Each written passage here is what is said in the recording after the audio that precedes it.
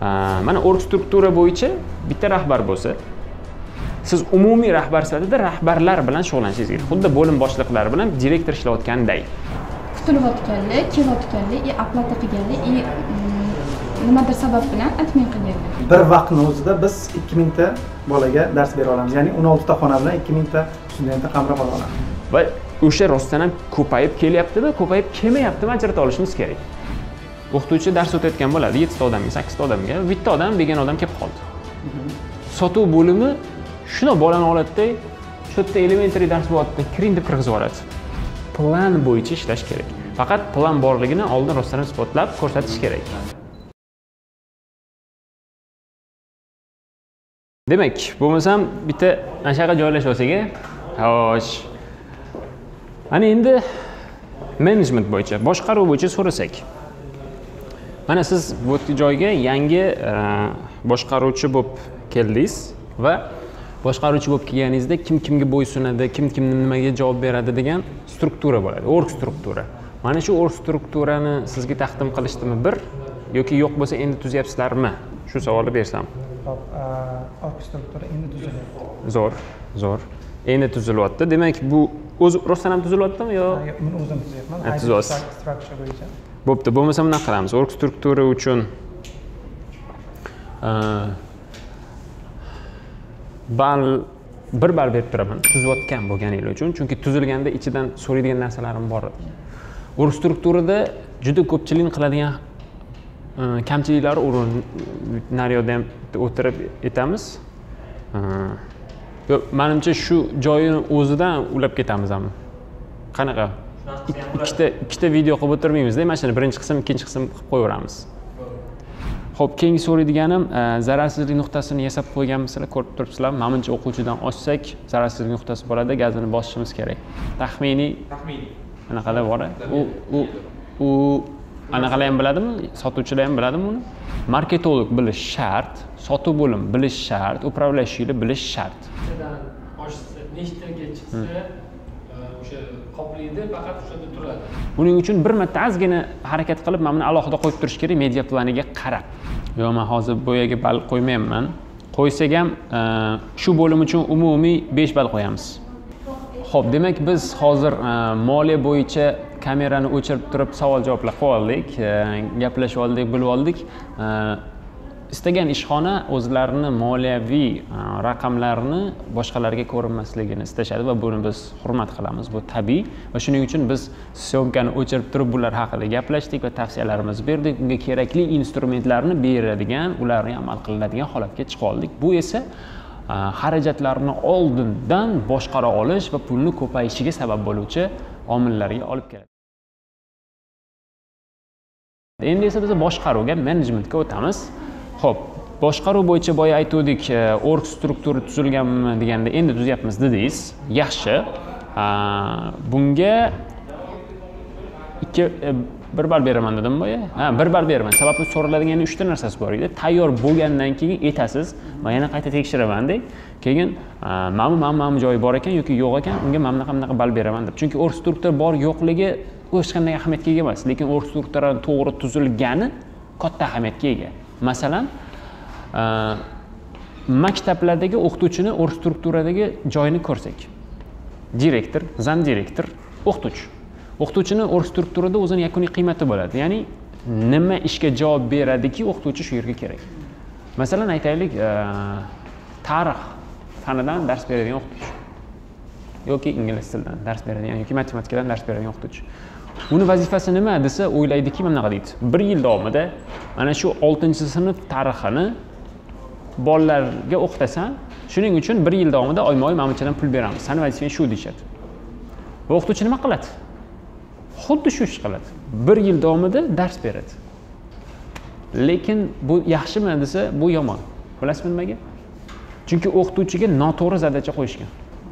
U o'rgisi kelmadi qo'yilgan bo'ladi. Qanaqa zadacha qo'yish kerak edi desa sinfda o'ttizta bola bo'lsa shu o'ttizta boladan kitobingda misol uchun yuzta mavzu bo'lsa yoki ellikta mavzu bo'lsa o'ttizta boladan ellikta mavzuni yoki qirq beshta mavzuni biladigan yigirma beshta bola chiqishi kerak degan topshiriq berilganda edi. Endi o'qituvchi darsida telefon o'ynab o'tirmasdi. Yoki o'tirib olib zerikarli o'tmasdi. Yoki baqir chaqir qilmasdi. Endi kerak bo'lsa anavi interaktivniy qilib boshqacha ishlagan bo'ladi chunki vazifasi yil oxirida shu ellikta mavzudan hech bo'lmaganda qirq beshtasini aniq biladigan o'ttizta boladan yigirma beshta bolani chiqarish. Agar yigirma beshta bola emas o'n beshta bola chiqsa oyligi mana bunchaga kamayadi. o'n beshta emas beshta chiqsa mana bunchaga kamayadi degan aniq topshiriqni berish kerak. Aslida-ku hujjat bo'yicha shunday ketgan bo'lishi mumkin.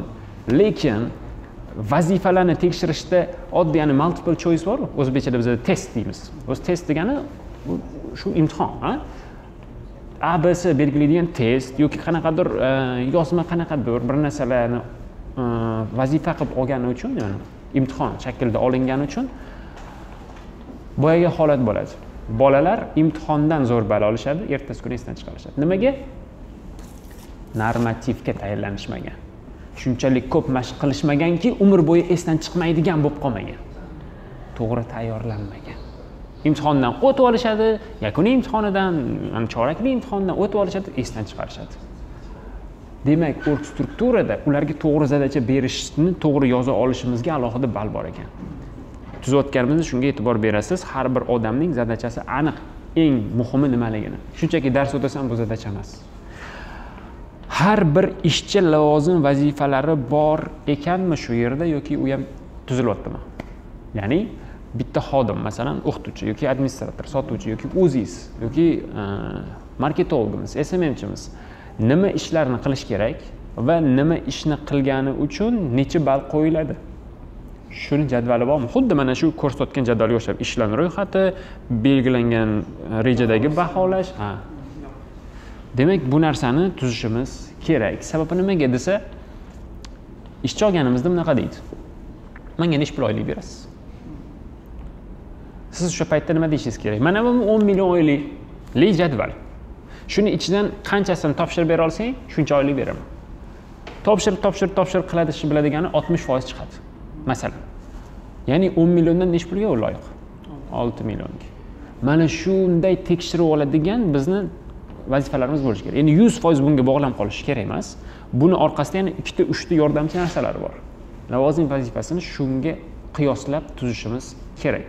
Ularni maxsus yana jadvallariyu instrumentlarini beraman. Chunki hamma narsani videoda gapirib tashlasak bizni instrumentlarimiz nima qiziq holat to'g'rimi?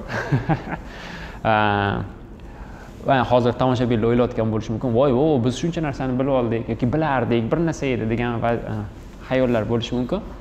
Bitta narsani aytishim mumkin. Man e, kamerada uzog'i bilan uch foizdan besh foizgacha ma'lumotni beraman. Qolgan hammasini kamerani o'chirgandan keyin mana buni mana buni mana buni mana bunaqa qilasizlar degan instrumentlarni beraman. Shuning uchun shu aytilayotgan instrumentlarni yoki googledan qidiringlar yoki youtubedan qidiringlar yoki kelinglar so'ranglar murojaat qilinglar. Qayerdan bo'lsa ham o'rganinglar. Chunki shunchaki eshitib olganni o'zi hech qachon u sizga foyda bermaydi. Siz qozon kop pishirishni eshitib olganingiz yaxshi lekin pishirishni o'rgana olsangiz mana endi bu natija beradi. Ishlarda ham xuddi shunday. Keyingisi biznes jarayonlar tuzilganmi? Ya'ni ishxonada tasavvur qilaylik. Mana shu yerdagi yigirmata lampochka kuyib qoldi birdaniga umuman ishlamay qoldi. Shu muammoni qanday hal qilinishi keraklik bo'yicha qadamlar yozib qo'yilganmi? Yoki ertalab kelganingda ish qulf bo'lib qoldi tam ochib beradigan odam kelmay qoldi kasal bo'lib qoldi yoki ketib qolgan esdan chiqib qolgan kalitini yo'qotib qo'ygan. O'sha paytda ishchilaringiz aniq biladimi? Kim orqali shu muammolarni hal qilinadi? Ya'ni biznes protsesslar bu ishdan keyin bu bo'ladi bunga murojaat qilaman bu hal qiladi bunaqa qiladi degan biznes protsesslar har bir bo'lim uchun moliya marketing sotuv boshqaruv uchun va dars berilishi uchun. Tuzilganmi tuzilmaganmi? O'zi tuzilishi nimaga kerak desa yangi kelgan xodim shuni ko'rib o'zini bo'limini faqat. Dars beradigan o'qituvchimi o'zini bo'limini ko'rib ha printer mapdan chiqarar ekanman ha mana bunaqa ekan bu bunaqa ekan ko'rib olish uchun. Shular tuzilgan ekanmi yo tuzishni boshlaysizlarmi yo'q tuzilgan faqat yozma ravishda emas. Yangi xodimimizga kelsa komanda yig'iladi. Aytaylik texnik xodim sotuv bo'limi yoki bo'lmasa moliya bo'limi o'quv bo'limi boshliq hammasi tanishtiriladi. Nima kerak bo'lsa shunga murojaat qilasa bunaqa narsa kerak bo'lsa bunga mana printer nima kerak bo'lsa shunga zo'r. Demak og'zaki ravishda instruktaj bo'ladi. Bizga bu borib borib yozma ravishda kerak. To'g'ri bitta filial bo'lganimizda bu e, juda kerak emasdir hali. Lekin tasavvur qilaylik e, o'ttizta bo'ldik filial. Va yigirma sakkizinchi filialda qaysidir xodim nima qilishni bilmayapti. Nimadir bo'lib qolgan. O'sha paytda bu kerak. Ana endi uni bazasini biz hozirdan tuzmasak u bir kunda tuziladigan narsa emas. Hattoki bir oyda ham tuziladigan narsa emas. U juda ko'p vaqt oladigan narsa. Uch oylab olti oylab bir yillab tuzadigan narsa. Shuning uchun hozirdan o'shani yozma ravishda. Kerak bo'lsa shuni video ketma ketliklarda yasashimizni tavsiya beramiz. Demak bu uchun ha o'zi menejment bo'limiga necha balldan beryapmiz desa org struktura tuzilyapti. Ikki ball beraman. Lavozim ishchilarni vazifasi umuman olganda og'zaki instruktaj berishar ekan lekin yozma hali yo'q baholanadigan bilan. Shuning uchun bunga bir ball beraman chunki baholanmayapti va yozma yo'q. Biznes jarayon tuzilganmi? Yozma yo'q lekin og'zaki instruktaj berishyapti. Shunga ham bir ball beraman. Va e, ishchilar uchun ishlarni o'rgatuvchi o'quv darslari tayyorlanganmi? Ya'ni sizga yangi sotuvchi kelsa sanga falonchi mana mana bu ishni o'rgatadi deb aytasizlarmi? Yoki avval mana bu linkni olasan mana bu yigirmata videoni ko'rasan mana bu normativ bor shunga moslab tayyorlanasan bizga topshirasan shundan keyin keyingi vazifalarni beramiz xuddi shunaqa yasalgan video darsliklar audio darsliklar tekstlar degan qandaydir o'zimizni ichki akademiyamiz xodimlarni tayyorlash akademiyamizning darsliklari bormi yoki videomi u yoki tekstmi yoki og'zakimi? Qanaqa? Bizda face to face bo'ladi. Og'zaki o'qituvchi keladigan bo'lsa o'qituvchini birinchi biz malakasini oshirib keyin dars beramiz uni farqi xohlasa to'qqizli o'qituvchi kelsa ham farqi bizani o'zimizni yo'limizga tushirib standartga tushiradi standartga tushirib olib keyin ruxsat beramiz sotuv bo'limiga kelgan bo'lsa sotuv bo'limiga ishchi kerak bo'lsa sotuv bo'limidagilar o'rgatib tayyor bo'lgandan keyin sotuv bo'limi tayyor deb aytgandan keyin uni tekshirtirib keyin ishlab qo'yamiz bu yaxshi. Tasavvur qilaylik e, hozir mana havas degan supermarketlar bor do'konlar. Bilasizmi soni nechtaga chiqdi? Ellikdan ortiq man agar yanglishmasam kechagi ma'lumot bo'yicha bir yuz ellik uchta bo'ldi. Korzinka hozir yetmishtadan sal oshganda necha yil ishlaganda. Havas уже bir yuz ellik uchta bo'lib ketdi. Agar yanglishmayotgan bo'lsam plyus minus nechtadir adashayotgan bo'lishim mumkin. Ana endi shu do'kon haftasiga ikkitadan ham do'kon ochayotgan ekan. Tasavvur qiling mana boshqaruvda siz haftasiga ikkitadan ochilganda uni xodimlarni instruktaj qilish o'rgatish qanchalik qiyin bo'ladi bilasizmi? Uni nima vaqtni olishi mumkin desa hali ishga olmagan odamlarga video video video darsliklarni berib chunki bilasizmi o'nta yigirmata odamni suhbat qilsa bitta ikkitasi sizga mos chiqadi. Ha mosi chiqadi degani shuni eplay oladi. Mana shu video darsliklar yoki boshqa darsliklar qachon yordam beradi? O'ttiz odam ishga topshiryapti. Ishga olishdan oldin berasiz palon palon palon. Videolarni ko'rasan mana normativlarni topshirasan. Shundan o'tsang keyin bu yerda man keyingi vazifani beraman. Deb shunda filtringizni o'zi juda zo'r bo'ladi. Ana ishlar anavi gapda zo'r bo'ladi bir xilla ishlayman eplab tashlayman yorib tashlayman. Lekin amalda bir oydan keyin qarasangiz yomon. Haftasiga ikkita filial ochayotgan paytda unga vaqtingiz bo'lmaydida.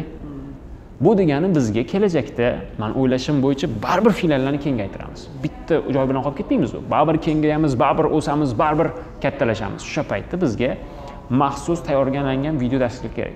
Hozirdan yasab hozirdan o'zimizni tajribamizni oshirsak kelajakda qiynalib qolmaymiz. Ha mana buni qo'shib qo'yaman endi mana buni qo'shib qo'yaman deb o'zimizni akademiyamizning ichki dasturlarini darsliklarini tayyorlaymiz biz shuni qanday yasalgan nimaligi haqida sizga namunalar beramiz. Boyagi instrumentlar beramiz boshqa beramiz deyotganimiz ham mana video beraman deyapman u bizga keladigan xodimlaru shogirdlarga akademiyada-yu. Mana bu instrument bor mana videoni ko'rasan bu qanaqa ishlatish bu qanaqa qilib yasash. U ko'radi instrumentni qanaqa ishlatishni ko'radi endi qanaqa yasashni ko'radi. Alohida alohida narsa. Yasash esidan chiqib qolsa shuni o'zini ko'rib qo'yadi. Ishlatish bilmasa shuni o'zini ko'rib qo'yadi. Keyin u normativini topshiradi. Xuddi shunda biz xodimlarni tayyorlash bo'yicha muammolardan qutulamiz. Ya'ni yuz foizga qutulolmaymiz bilasiz o'zbekistonda e, ikkita eng katta katta muammolar bor. Birinchisi pul bo'lsa ikkinchisi kadrlar. Kadrlarni hal qilishni o'rganib olsak juda katta fokusimiz bitta joyda bo'ladi. Bo'lmasa ham tarqab ketaveradi unisi buni eplolmaydi bunisi buni eplolmaydi. Demak og'zaki instruktaj berilayotgan o'rgatilayotgani uchun man bunga e, to'rt balldan ikki ball beraman. E, va oxirgi savolimiz inson omili shart bo'lmagan ishlarni imkon darajada programmalarga topshirganmisiz? Agar qaysidir bo'limda shu narsani imkoni bo'lsa. Masalan sizda nima bo'lishi mumkin bu desa oddiy savol a, telegram kanalinglar bo'lishi mumkin va u yerdan bizga murojaat qiling deb link qo'yib qo'ygansizlar yozsa administratorga tushib qolishi mumkin прямой. Va administrator bu yerda inson gaplashib o'tirishi mumkin ikkita mijoz bilan. Ha mijoz bilan administrator. Masalan shu holatda nima bo'lishi mumkin desa bot.